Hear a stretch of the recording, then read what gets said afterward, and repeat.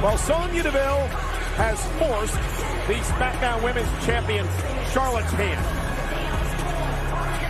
Charlotte called it persistence.